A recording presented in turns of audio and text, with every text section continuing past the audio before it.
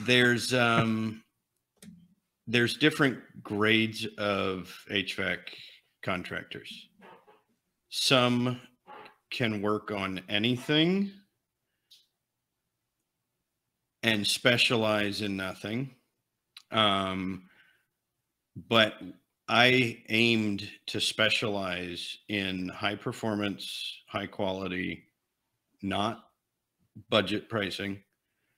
Um, and if people are willing to pay my price tag, I kind of feel like I need to go where they're willing to pay. Now, that doesn't mean that I cover all the way to Sanford or say Hillsborough for the same price that I would cover, you know, Central Raleigh necessarily. Depends on where you are. But um, we also don't tend to be competitive in the dollars and cents for the services that we offer. If you look at what level of quality we try to offer, we offer a premium product at a fairly premium price, not a $27 tune up, not a $49 tune up, not a $79 tune up. Um, our one time tune up is 50% of a yearly maintenance agreement, which just happens to be $200 right now. That's the full price or your half price? That's half price okay of a maintenance agreement. So our one-time tune-up is $200. Oh, okay. L- let me interject something then. Uh, we all know the coupon guys. Take this coupon, yep. forty nine dollars. We're going to check all seven parts of your air conditioner. You're right. like, what now? Okay, so you say two hundred dollars. What? Why is the same job, quote unquote, worth two hundred dollars? What's different about what you do? Um, when we go into a system, we go top to bottom. We go full static, full airflow, full refrigerant charge, gas furnaces. We do combustion analysis. Um, and we deliver the full I mean or not a manifold, the full measure oh, quick report.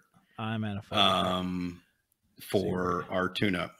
Um, we do a teardown cleaning on your condenser and all the other basics for a maintenance, like checking the drain, flushing, um, things like that. Um, but when we're done, I've been there for an hour and a half, typically on a single system. Um, realistically, the measureQuick report probably takes me 20 minutes, and then the rest is cleaning.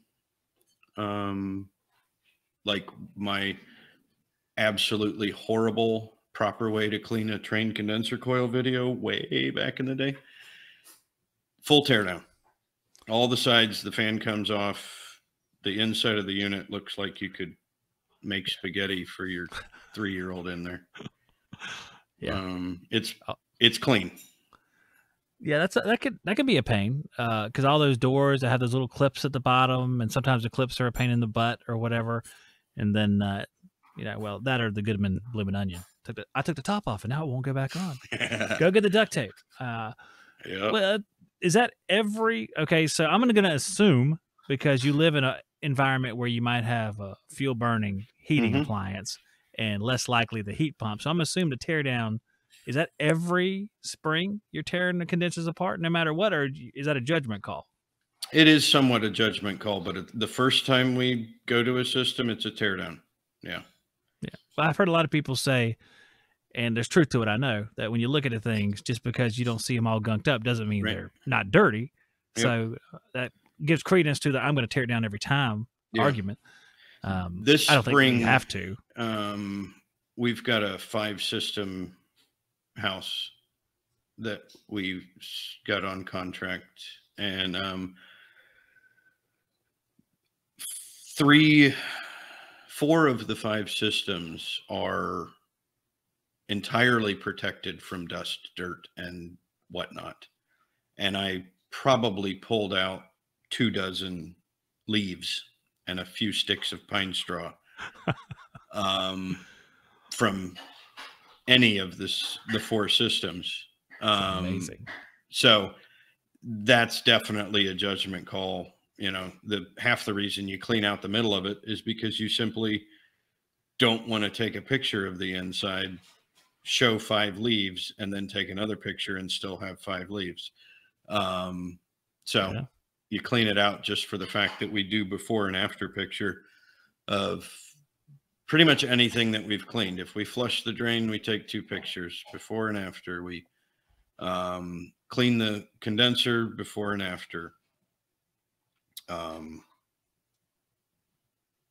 screenshots of the TechLink app for capacitors go into the CompanyCam file um, and a full measureQuick report.